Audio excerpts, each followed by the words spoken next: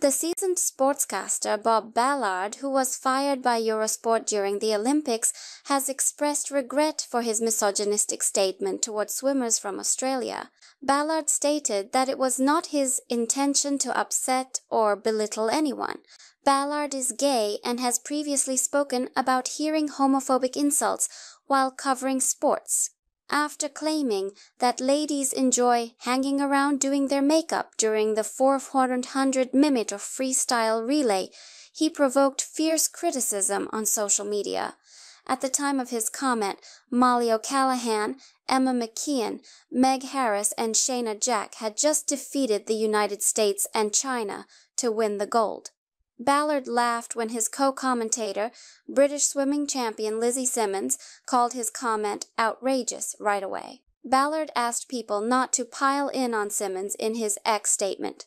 The comments I made during the Australian freestyle relay victory ceremony on Saturday have caused some offense, said the mainstay of international sports coverage since the 1980s.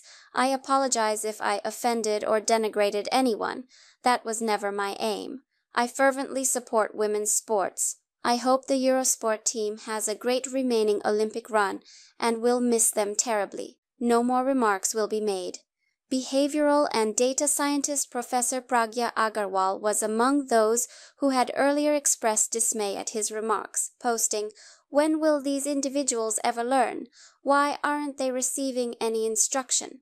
Following the widespread distribution of the video, Ballard was promptly eliminated by Eurosport from all remaining Olympic competitions. Commentator Bob Ballard made an inappropriate comment during a segment of Eurosport's coverage last night. The channel said in a statement, therefore he has been promptly removed from our commentary roster. Listeners of TalkSport and BBC Five Live will recognize Ballard since he has previously reported for both radio stations. He reported on swimming events for Discovery Plus during the first day of the Paris Olympics and declared on social media that he will be by the pool again on Sunday before being reprimanded. The organizers in Paris had dubbed the competition the Equal Games and are rumored to have asked the broadcasters to omit any video that could be interpreted as objectifying female participants.